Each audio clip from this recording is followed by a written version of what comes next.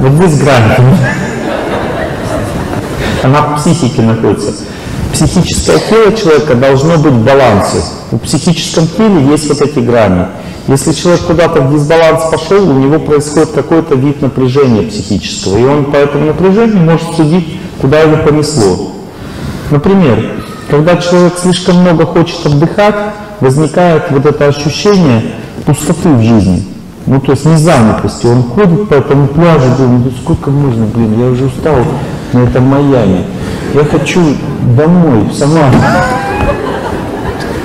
Там у меня огород. Ну, то есть это признак в психическом теле начинает дискомфорт. Вроде бы ты хотел Майами, но его уже слишком много. И там уже скучно ходить это, и уже вроде накирялся, и там, и все наделался, что хотел. Ну, что дальше? Вот, дальше нечего, надо ехать домой.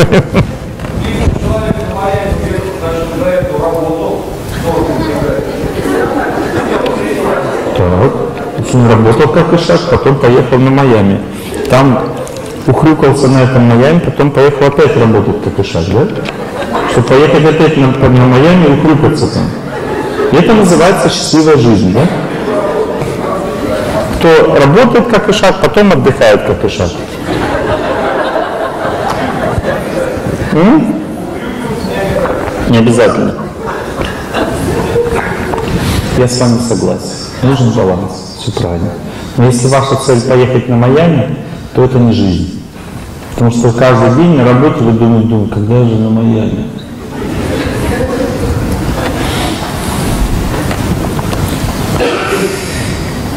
Итак, ну, хорошо, что вы включились. Спасибо вам за обратную связь. Нормально. И все равно мне хочется быть важнее, главнее, лучше. Я поэтому буду всегда вас оспаривать. Так действует ложное эго вектора. Вектор должен быть круче всегда. Итак, движемся вперед. Цели могут быть связаны с эгоизмом в невежестве, и цели могут быть связаны с эгоизмом благости. Два вида целей. Цели, которые связаны с эгоизмом в невежестве, напрягают человека в конечном счете и приносят страдания. Цели, которые связаны с эгоизмом благости, они приносят счастье. Сразу возникает вопрос, а можем ли мы контролировать цели вообще? Есть два вида целей. Одни цели контролировать невозможно, и просто их надо направить в нужное русло. И есть другой вид целей, который можно контролировать. Цели, которые возникают в результате хода жизни сами собой, их невозможно контролировать. Их нужно направить в нужное русло. Например, маленький ребенок растет. В зависимости от возраста есть разные цели. Допустим, ребенку 5-6 лет, он начинает сильно двигаться. У него цель движения. У него развивается психическое тело, связанное с праной энергией. То есть ему нужно развивать энергию. Если он будет мало двигаться, он будет вялым по жизни. Ему нужно в этом возрасте набегаться, напрыгаться, наполниться силой.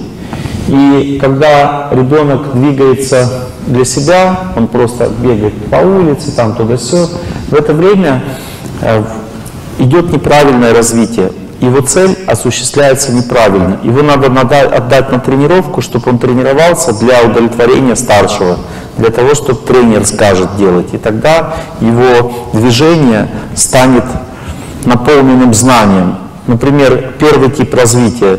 Человек развился, и он может заставить себя что-то делать, потому что он уже заставлял себя в детстве, его учили так жить. А второй вид развития, он будет делать только то, что хочется. А хочется ему балдеть, где-то побегать, попрыгать. И, допустим, если человек может себя он может гвоздик бить, может что-то полезное сделать, а если он не может себя он только может волейбольчик поиграть и все, у него на это могут силы только тратиться. Понимаете разница в развитии? То есть цель ясна, ребенок должен двигаться. Как эта цель будет осуществляться, для этого нужно иметь знания о разных способах осуществления этой цели. Один способ – эгоизм, в невежестве означает, что хочу, то и делаю. Эгоизм благости означает, я подчинен. Я действую под руководством старших. Поэтому родители, когда отдают ну, куда-то ребенка, чтобы его учили, как правильно двигаться, его энергия движения занимается в правильном ключе, тогда в этом случае он обретает возможность контролировать свое движение. То есть он становится грамотным, разумным человеком в этой области. Движемся вперед. Допустим, появляется у девушки в юности появляется потребность выйти замуж. И смотрите, как интересно работает эта потребность. Это цель жизни, формируется цель жизни. Мы сейчас говорим с вами о жизненно важных целях, о целях, которые, из которых невозможно жить. Но есть еще высшая цель жизни, мы ее коснемся чуть позже. Когда мы говорим о целях жизни, мы также говорим о, о причинах стресса, потому что когда цель жизни направляется в неправильное русло, потом в будущем возникает стресс. Вот, допустим, я сказал о ребенке, который не может двигаться под контролем. Какой вид стресса получает человек в будущем от этого? Как вы думаете? Ну, давай чуть-чуть. Ну, ну, ну, кто работа, что работа? А? Подчиняться начальнику не захочет. Это в лучшем случае он подчиняться начальнику не захочет. Работать человек не хочет, понимаете? Если он, он двигаться не научился, заставлять себя, он просто на работу не хочет ходить, ему трудно заставить себя работать. Он может волейбольчик поиграть, там пойти, э, побегать, попрыгать, а вот пойти там работать он не может, потому что у него психика заточена в другую сторону. И какой стресс человек получает? Он получает...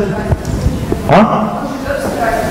Ну понятно, он получает вот этот стресс неудачника в жизни, понимаете, он не может себя реализовать, он не знает, как ему жить нормально, потому что у него нет силы заставить себя работать. Вот у кого муж не может заставить себя работать, поднимите руку. Видите, есть такие люди. Есть люди, у которых реально такая проблема. Это стресс или нет? Скажите вот. Это реальный стресс. Причина этому стрессу необразованность вот эта вот, которая еще в детстве в раннем произошла. Теперь объясним, как развивается стресс в юности у девушки, которая не понимает, как обращаться с энергией, с этой энергией любви, с, этой, с этим желанием выйти замуж.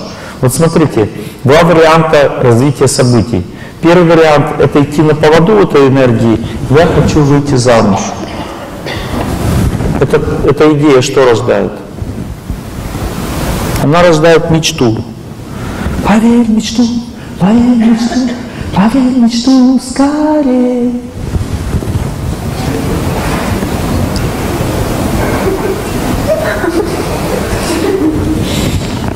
Начала верить в мечту. Что дальше? Чем больше женщина направляет, девушка направляет энергию в эту идею, я должна выйти замуж, я не могу так больше жить, я должна выйти замуж. Она в какую сферу жизни себя направляет? Ту, которую она контролирует, или в ту, которая ей не подвластна? Не подвластна, конечно, потому что выйти замуж – это награда, это результат уже. Как некоторые подходят ко мне и говорят, Олег Геннадьевич, когда я буду выйти замуж? Посмотрите на меня, вот вы продиагностируйте, когда я выйду замуж? Вот. Диагностируйте меня. Сколько? Один, два, три года, сколько можно?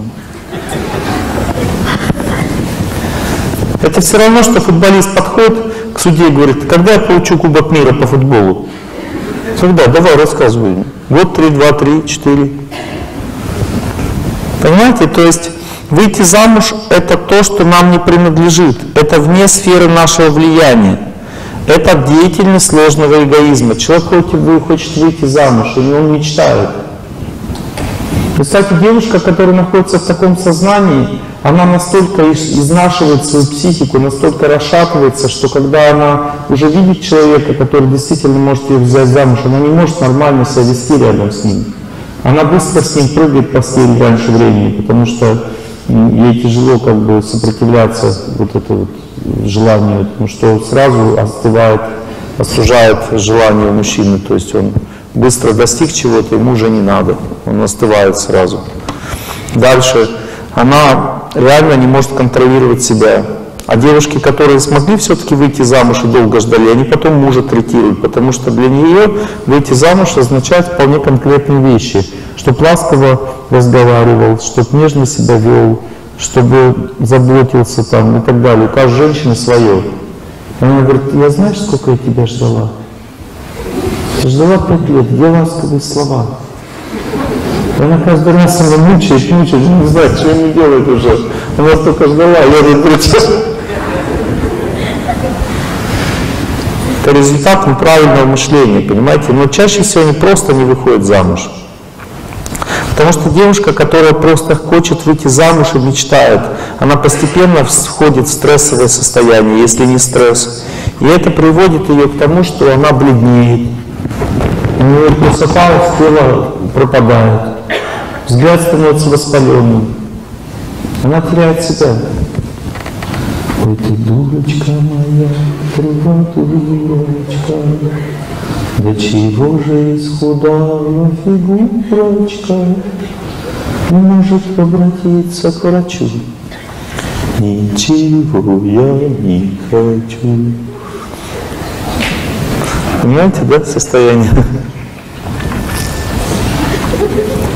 Кому такая нужна? Девушки, что нужно мужчинам? Вот почему они влюбляются, что им нужно? Вот это вот? Или что? Что ему нужно? Как?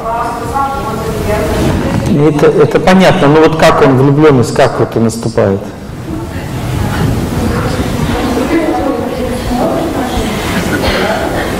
Ну что значит нравится? Вот это?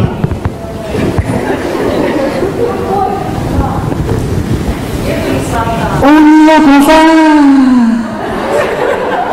бриллианты три карата, губы у нее не поверите, ребята.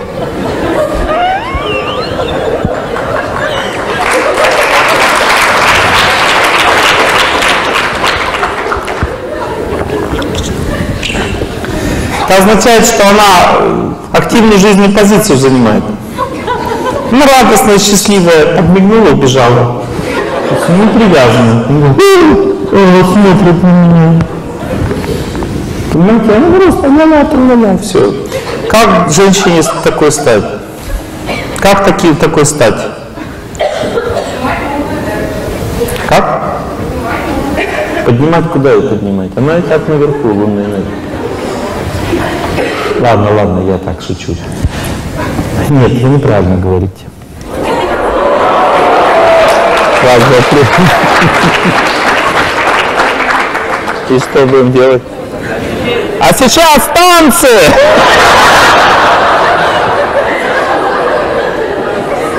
Ну что, а нам делать-то? Я не знаю. Первый раз у меня такой. А это что, в городе свет выключили, что ли?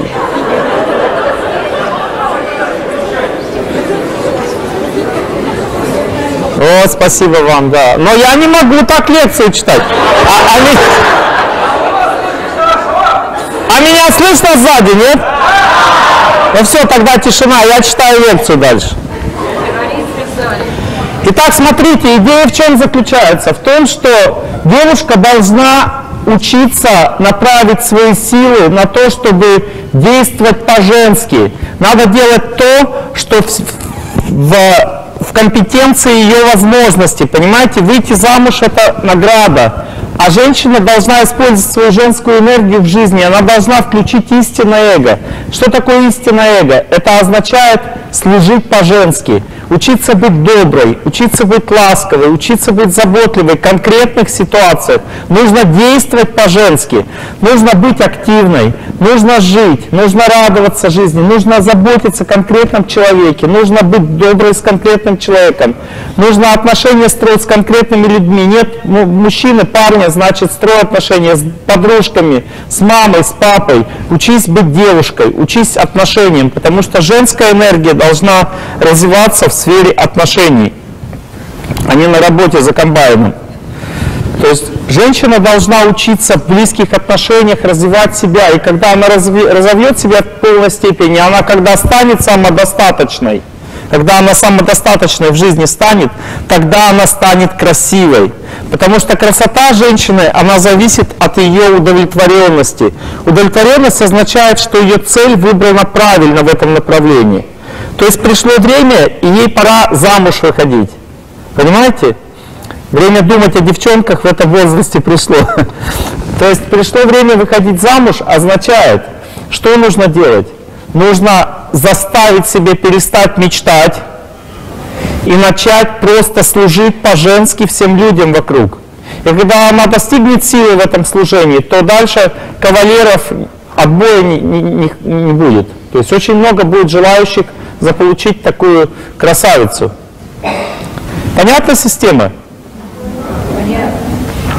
Ну, то есть идея в чем заключается? В том, что есть разные этапы жизни. Все они рождают какие-то цели. Приходит время, хочется ребенка. Идея хочется ребенка, что это значит? Что есть два направления жизни опять. Первое направление жизни – это ходить и думать, что это не получается зачать. И это означает, что будет еще хуже. Другое направление жизни – это начать восстанавливать свое здоровье, бросить курить, бросить пить, начать зарядочки делать. Женщина должна изучать, что способствует зачатию. Она должна понять вот это все, разобраться с этим. Она должна учиться быть удовлетворенной. Она должна спокойно к этой идее относиться. И тогда у нее постепенно все в спокойной обстановке получится. Я приведу даже такой пример. У меня одни знакомые решили зачать ребенка. И когда приходило время благоприятное для зачатия, они оба нервничали, у них ничего не получалось. А потом они просто отвлеклись от этой идеи, и у них все получилось. Сняли с себя напряжение, понимаете, вот просто по-человечески начали друг к другу относиться, без нервов, и все получилось. Ну, то есть идея в чем заключается, что есть цели жизни, вот такие вот цели, которые приходит в жизнь в результате того, что течет жизнь. Вот, допустим, меня прямо сзади слышно или нет? Да. Супер. Спасибо, это очень здорово. Итак, видите, мы сейчас преодолеваем судьбу. Я мог сейчас расстроиться, да, и сидеть просто, ой, цвета нет. Вот, но я не расстраиваюсь, я буду читать громко. Итак, а, смотрите, идея заключается в том, что человек вот эти вот периоды разные в жизни должен побеждать с помощью внутреннего настроя, с помощью силы воли. Допустим, приходит время, человеку хочется квартиру, хочется жилплощадь. И опять здесь тоже два варианта. Или мы начинаем входить в состояние беспокойства и упахиваться, или мы просто берем и каждый месяц по чуть-чуть откладываем денег. Понимаете, вот этот второй вариант, он спокойный и комфортный, а первый вариант, он вызывает в семье сильную напряженность, стресс и в конце концов разрушает семью. Если люди хотят быстрее квартиру получше, то это еще хуже, потому что они берут ипотеку, а ипотека означает рабство.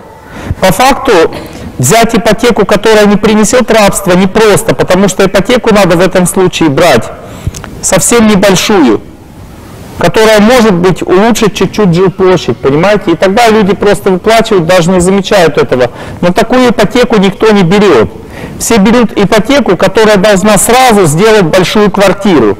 А потом на эту квартиру, как ишаки, все пол пашут, и в конце концов, когда ее выплачивают, уже эта квартира сто лет не нужна. Потому что человек в напряжении не может ни нормально жить, ни развиваться, не работать над собой, его жизнь становится как каторга. И сама идея о том, что завтра опять надо отдавать деньги, вызывает в нем головную боль. Понимаете, о чем я говорю? Ну, то есть идея заключается в том, что вот есть вот эти вот жизненно важные цели. Они сами по себе заставляют человека в каком-то направлении в жизни двигаться. Допустим, когда человек становится уже в возрасте, ему нужен покой. Понимаете, покой. И он начинает гонять всех по подоконникам, всех членов семьи. Пошли все вон, оставьте меня в покое, дайте мне нормальной жизни. И это не способ жить, это деятельность сложного эго, который приводит к жутому стрессу. То есть пожилому человеку, возраст человеку нужен комфорт и покой. Но это решается по-другому. Это решается с помощью внутренней жизни. Такой человек в возрасте должен начать молитву, он должен начать духовную жизнь, он должен начать жизнь, в которой его сердце обретет покой души. Понимаете? Но такие решения всегда приходят с помощью знания. Человек не может сам по себе вырваться из иллюзии, из обмана. Вот, допустим, человек устал. Что хочется делать само собой? Хочется лечь попозже и встать попозже.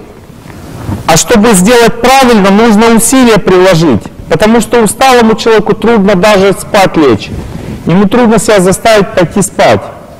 Понимаете, человек устал, ему надо пораньше лечь спать, заставить себя пораньше лечь спать и заставить потом себя пораньше встать в постели. Потому что если он рано не встанет, когда солнце уже начинает подниматься, оно забирает жизненные силы у человека, оно перегревает психику. И в результате человек опять вялым встает, он не выспался, хоть и переспал. Понимаете, то есть вот это, это везде и всегда так работает, что если человек не знает, как правильно действовать в какой-то ситуации, то он всегда попадает в засаду, потому что ложное эго, оно забирает у него силы. Ну, допустим, мать родила ребенка, женщина родила ребенка. Ребенок становится, опять же, такой жизненно важной целью. И какой результат этого? Она начинает считать, что ребенок – это главное в нашей жизни. Если ей не объяснят, как правильно надо считать. И в результате она чем занимается? Она всю жизнь начинает третировать всех вокруг себя. Она говорит, все для ребенка, все для ребенка. И когда ребенок вырастает, он что считает? Он тоже считает, что он является главной целью жизни. Не то, что он считает, что его мама будет главной целью жизни. Нет, он также, точно так же себя считает своей главной целью жизни. Результат какой у этого ребенка в жизни? А результат, что он становится эгоистом просто, и все. А что надо делать маме? А маме надо знать, что когда ребенок рождается, она все равно должна мужа считать на первом месте, а ребенка на втором. И еще выше надо считать то, ради чего человек вообще должен жить. Человек должен вообще работать над собой. Он должен выше ставить святость, чистоту, искать Бога в своей жизни, искать веру. Понимаете, потому что даже зацикленность своем, на своем муже – это тоже эгоизм. Просто это уже концепция «моё». Это мой муж. Мой муж означает тоже эгоизм, понимаете? То есть ложное эго, оно функционирует в пределах семьи целой. Когда человек себя считает живет только для своей семьи, это тоже неправильная жизнь. Она рождает точно такие же проблемы. То есть, когда человек живет только для своей семьи, он никому не помогает в жизни, он никого не кормит, ни о ком не заботится, никому ничего не дарит, никому ничего не жертвует. Какой результат появляется? В семье накапливается эта энергия эгоизма. Сначала люди ругаются с друзьями. Есть, так, есть такой феномен, когда люди женятся, у них меньше друзей становится. Знаете почему? Потому что они погружаются друг в друга, они забывают обо всех. Они думают только друг о друге. А потом они начинают думать о своем ребенке. И до свидания, друзья, до свидания, знакомые, все до свидания. То есть люди замыкаются, до свидания, родители также. Почему люди замыкаются только на себе? Это результат неправильного понимания вещей. Ложное эго всегда человека заставляет идти неправильным путем. Цель есть, цель, возникла семья. Но древние писания говорят, что семья означает заботиться о родителях, то есть заставлять себя, хочется думать друг о друге, надо заставлять себя работаться, заботиться о родителях, надо заставлять себя работать, заботиться о друзьях, надо заставлять себя быть щедрым, быть бескорыстным, служить обществу и так далее. Понимаете, когда человек так настроен, семья становится счастливой, потому что включается истинный эгоизм, который освобождает от напряжения и проблем человека. А если человек, допустим, погружается в эту личную жизнь, то начинаются скандалы, ругань, нервотрепка и так далее. Есть еще такой интересный феномен, что мужчина точно так же, как и ребенок, нуждается в энергии любви женщины. И когда женщина рождает ребенка, вся ее энергия любви естественным образом погружается в ребенка. В результате мужа не хватает. И вы знаете, что есть определенная статистика, что даже когда женщина еще беременная или она рожает, то очень часто распадается брак. Как вы думаете, в чем причина? Да, причина заключается в том, что женщина замкнулась на себе и на своем ребенке. Она вошла в это эгоистичное состояние счастья личного, которое лишило мужа любви, в результате он метается, ему нужна женская энергия любви, у него же нет любви. Из любви соткана женская энергия, женское тело, женская психика. У нас организаторы здесь или нет? А? Нет, организаторы должны сейчас заниматься своими делами. Надо узнать, это рубильник вырубили или это началась война? Что происходит? Надо понять это, разобраться. Можно, конечно, сидеть и лекцию слушать, но это не ваш, не ваш долг сейчас.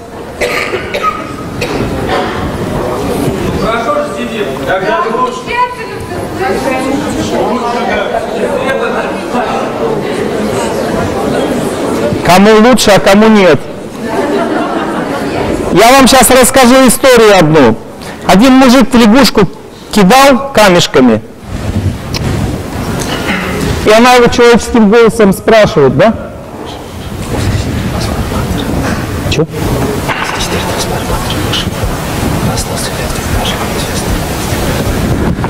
Так, у нас хорошие новости, будем читать так дальше.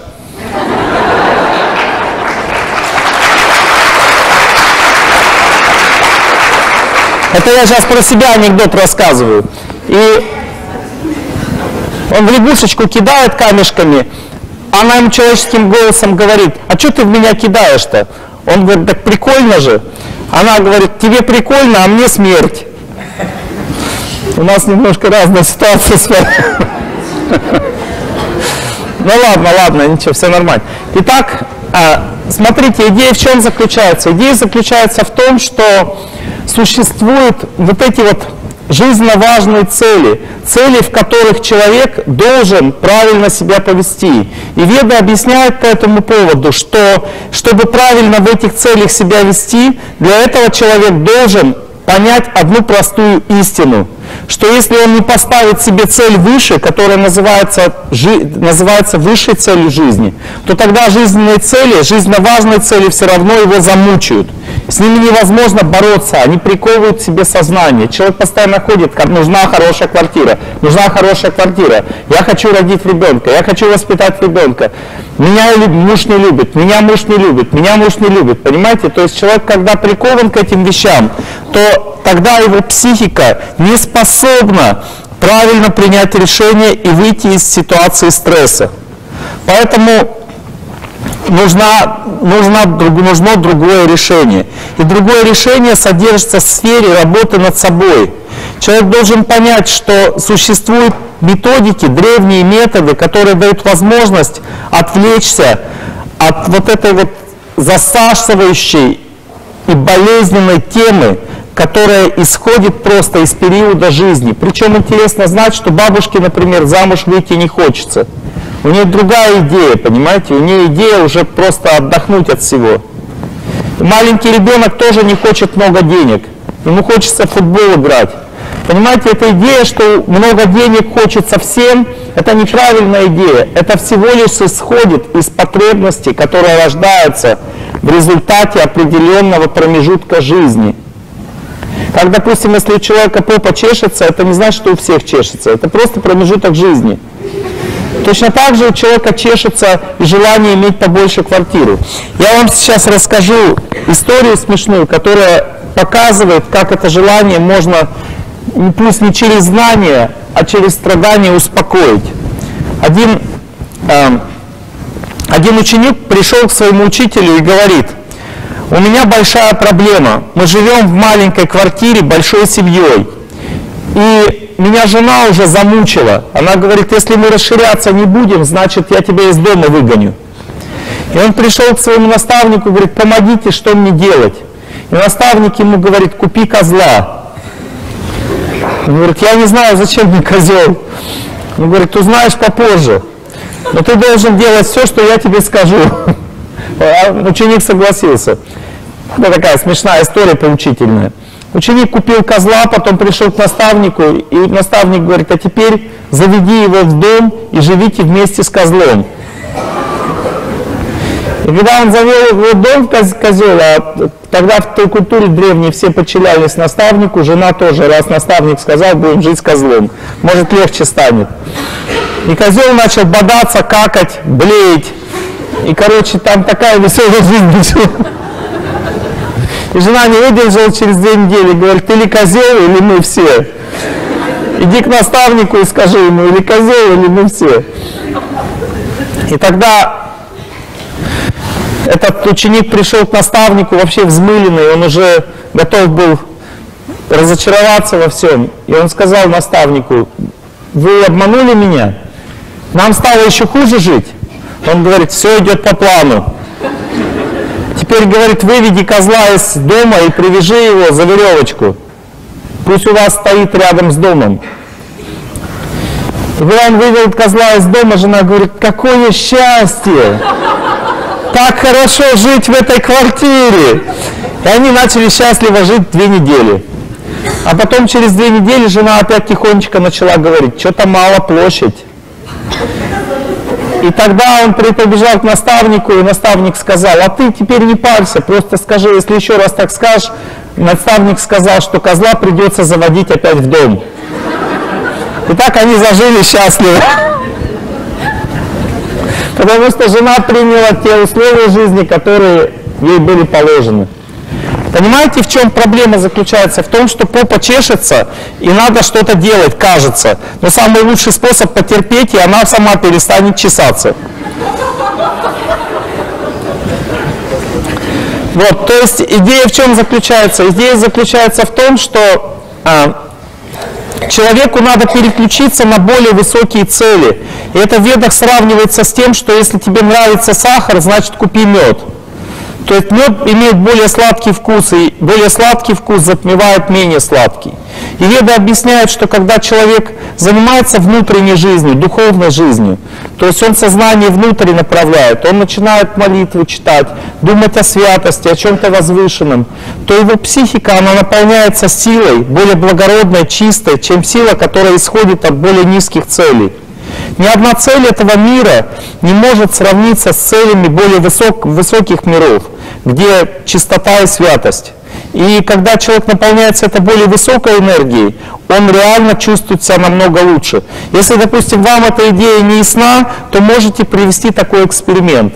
Возьмите просто, сделайте кому-то чего-то доброе. Это гораздо ниже уровень, который может человека возвысить и сделать счастливым. Если человек думает о Боге, это еще более счастливо. Но достаточно просто взять и накормить бабушку, соседку пирожками, которая голодная у вас сразу же на душе станет легче. Некоторые думают, ну что, бабушку накормил, настроение вроде не сильно повысилось. Я говорю сейчас не о настроении, я говорю сейчас о направленности сознания.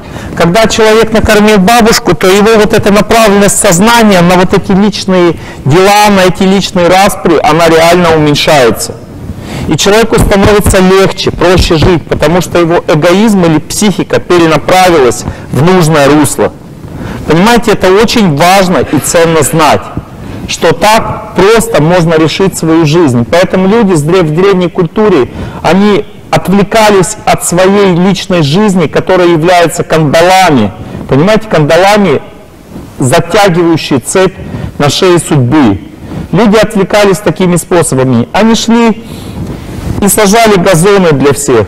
Они шли и кормили нищих. Они шли и просто помогали друг другу. Они шли и просто приглашали друзей покушать на обед и так далее. Понимаете, когда человек таким образом жил, его жизнь становилась легче. Мы не знаем этих всех правил и законов. У нас нет такой культуры так жить. Мы постоянно зациклены на себе и своей семье. И поэтому мы постоянно страдаем от того, что вот эта зацикленность, она имеет болезненную природу. Потому что сам эгоизм это, это и есть сила, рождающая боль.